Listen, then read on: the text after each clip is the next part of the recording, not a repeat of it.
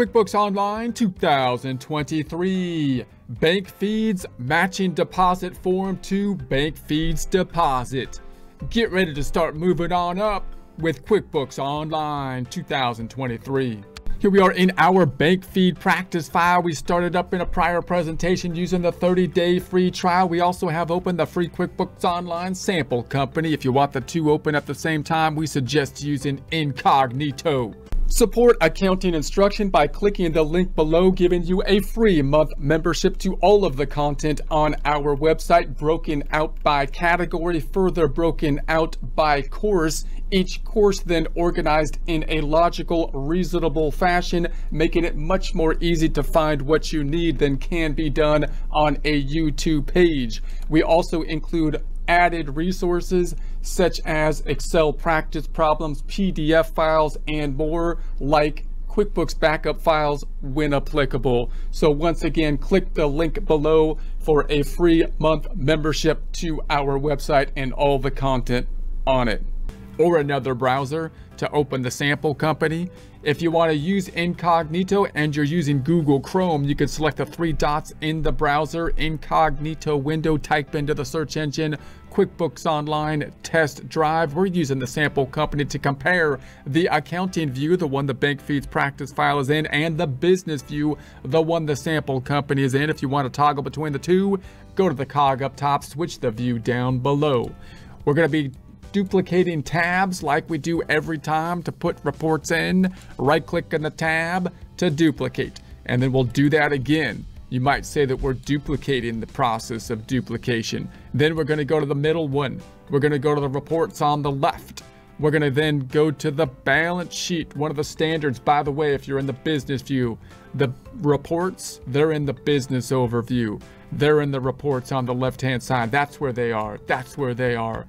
Back to the tab to the right, reports on the left, this time, the profit and loss, the big P to the L, otherwise known as the income statement. Let's change that range up top, if I may. 010122 to 123122.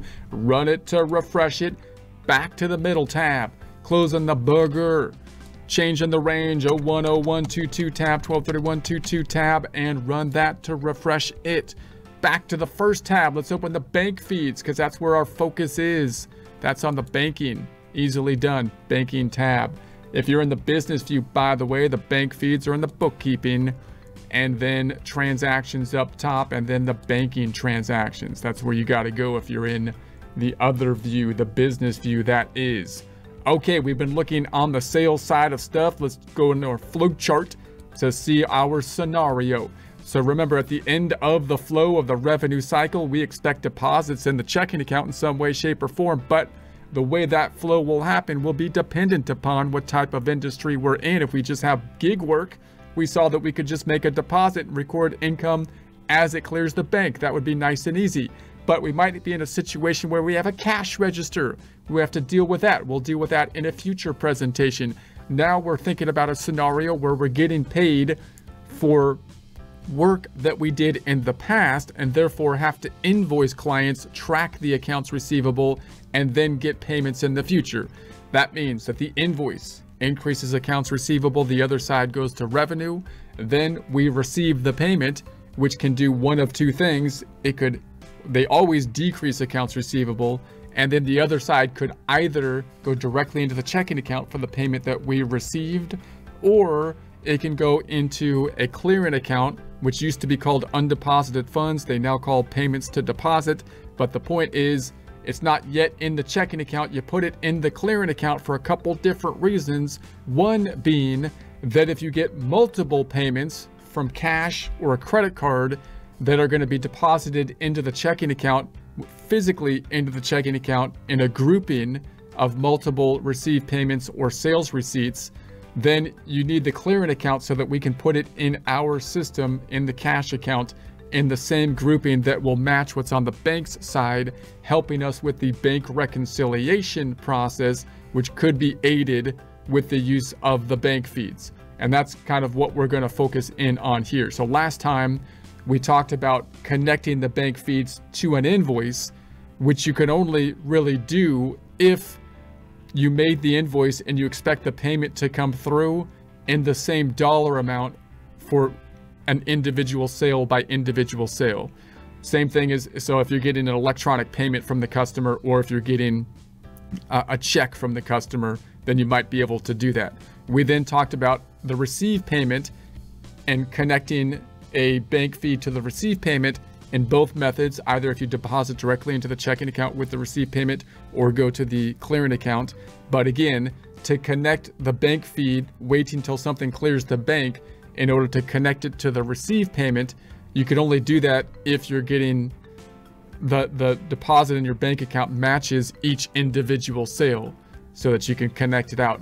If that's not the case, say you have cash sales, for example, and then you're going to take multiple cash sales that you have received money on now and deposit them into the bank in a lump sum, then you're going to have to take that final step of putting it into the clearing account of of uh, amounts to be deposited, undeposited funds, and then enter it into the bank in the same grouping that is going to be seen on the bank statement. And that way, then the bank feeds are just going to match out to what we have uh, on on our side, helping us to reconcile. And notice we'll, we'll have a similar issue with the sales receipts. So if you had a cash register situation, you're to have a similar issue.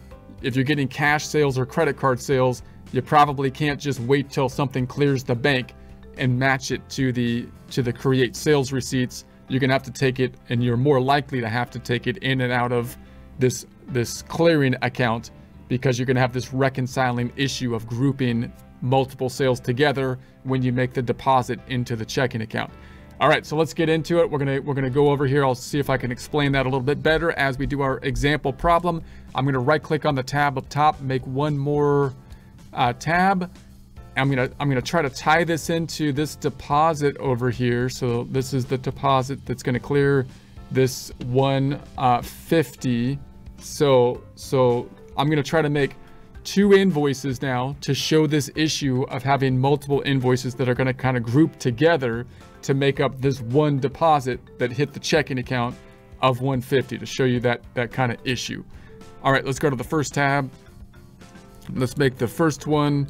Let's just make a new invoice. And let's say this was, I don't know what customer I'm, I'm thinking I'm on customer six, customer number six. Can't you just make up a name Cus, cus, I can't even spell customer, okay? I can't even do that. Just give me a break. Can't you just make, it's so generic, man. It's so generic. All right, whatever. Whatever, just deal with it. This is gonna be on 10, 10, let's say 10, 10, 22. And then we're gonna say down here, this is gonna be a service.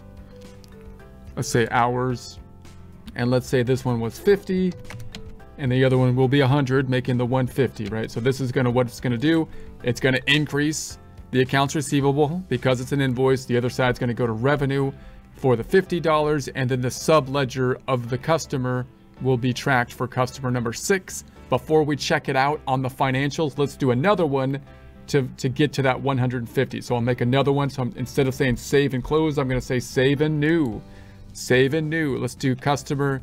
Let me guess. Customer number seven. Yes. Customer number seven. Customer number seven. Oh my goodness gracious. It's just ridiculous. My fingers aren't working. It's because people are taunting me with my uncreativeness. I'm gonna, let's say this happened on 10.10.2. All right. And then this is going to be hours. Let's make this 100. So the adding up of those two will then add up to that 150. So let's save it and check out. This is going to be save and close this time. What happens to our financials? If I go to my financial, my balance sheet and run it, accounts receivable is going to go up by those two invoices. There's six and seven, the 100, the 150. And then if I go back on over and I look at my profit and loss and refresh it, refresh it, then we're gonna go in here and it has two going up by the 100 and the 50. And the sub ledger is gonna go up and let's just check that internally, go into the tab to the left sales on the left hand side. And then I've got, feel like I've got a really itchy nose here right now. It's, it's annoying. I think I'm gonna sneeze. I'm gonna, anyways, this is gonna be down in sixth and seventh. Uh, so here's the 100 and the 150. So the next thing we're gonna do, of course, is the receive payment on them in the subledger. That would be the next step that we would expect to be happen. You can also be tracking these by going to the uh, ham and then sales and uh, all sales. And so you can check these out by the open invoices. And so now you've got your open invoices here as well. Now, if you're in the business view, by the way, the customers are located in the get paid and pay area and then customers. And that other sales tracking item is in bookkeeping and then transactions and then the all sales. So you can track it that way if you're using that method. Okay, so then let's go with the receive payment. So once again, now I have this step done. The next thing is to receive the payment. I could, in the prior presentation, I matched one time a, uh, a deposit to the invoice. I can't do that this time because the deposit is going to be for $150 and neither one of these invoices are for $150 because they got grouped together because they were either cash sales or credit card sales, let's say, when they actually hit our checking account. So that's the issue. I can't, so now I can't tie out my, my deposit, wait till it clears the bank, and then tie it out to the invoice. So I have to make the sales receipt. In this system, I'd have to say, okay, I got to do a sales receipt. And then I'm going to say, okay, this happened, let's say on 10, 11. Just to switch things up, let's pretend it was a cash that we received. Now, I can't put it directly into the checking account. I could, but if I did, then I'm going to end up with two items on the checking account, for one for 100, one for 150, that I need to match to what's on the bank, which is reflected through the bank feed of 150. You see, and that's going to be a matching problem. It's not going to match out properly. So to match it out properly, that's why we have this payment to deposit, which is like the undeposited funds that you might be used to, uh, which it used to be called. So this is going to decrease accounts receivable, decrease the subledger for customer seven, and record it not into the checking account, but rather in the clearing account payment to deposit so that we can then do the added step of taking it out of there and putting it into the checking account as 150 instead of 150 so we can then tie it out to the bank feeds helping us out with the reconciliation. Whew, all right, let's save it and close it. And then let's do the other one. This 50, I'm gonna receive the payment on it as well. And so I'm gonna say boom, boom, boom. It's going into payments to deposit. This is gonna reduce accounts receivable. The other side's gonna go into the uh, clearing account and it's going to reduce the subledger for customer six. Let's save and close that.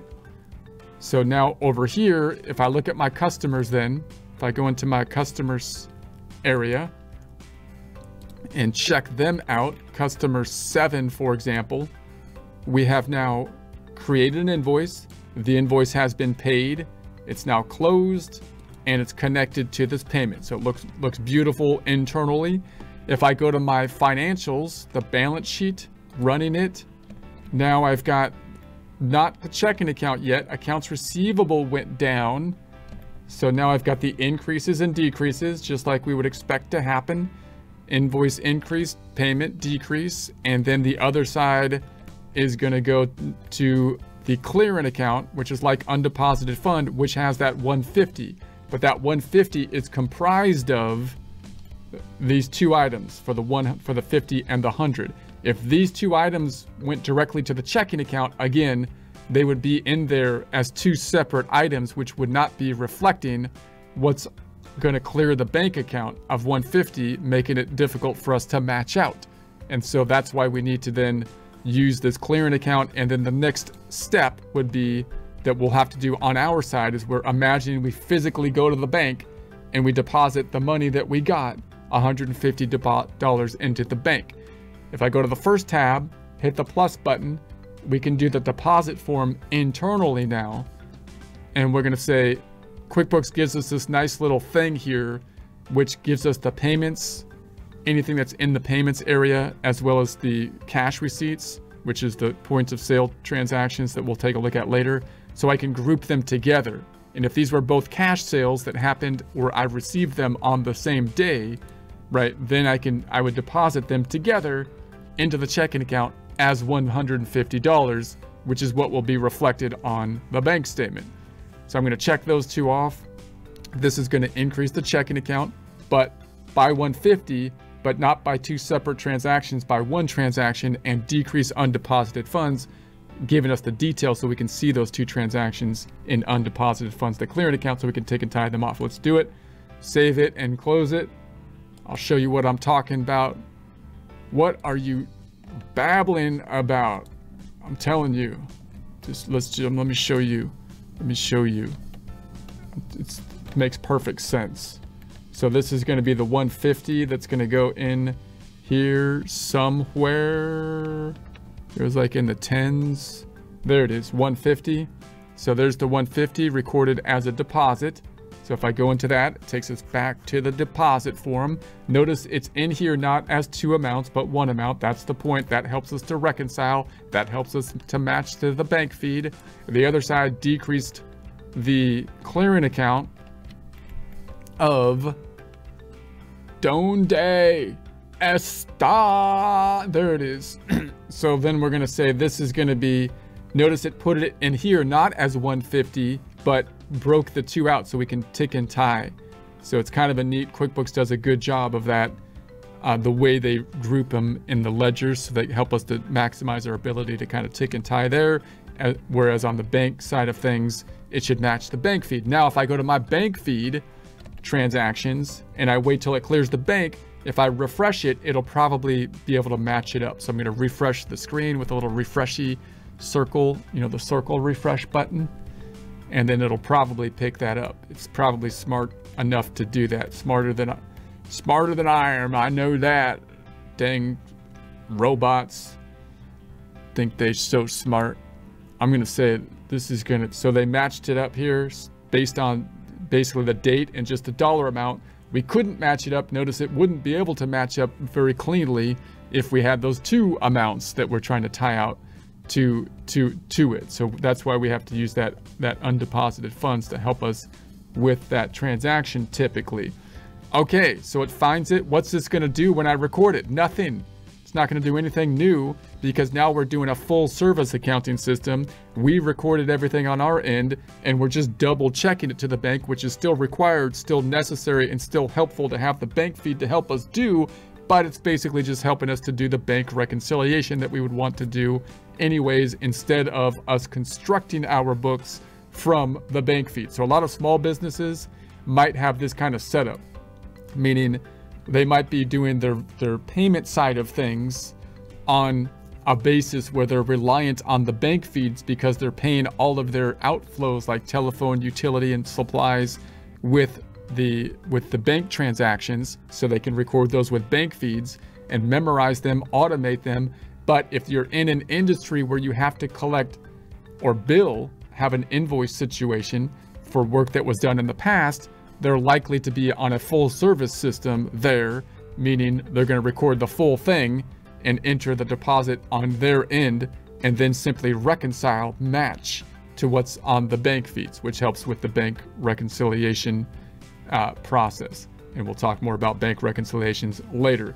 So that uh, that is that one. So next time, maybe we'll spend a little bit of time on the uh, the sales receipt, which would be what would happen if you're at like a cash register type of, of situation. You have a similar issue that we saw with the received payments in terms of being able to match out the bank feeds to the sales receipt. But most likely you'll have that problem of having multiple sales that are going into the checking account, so you're gonna have to use that clearing account again and use the bank feeds to just kind of match out. So we'll talk about that later.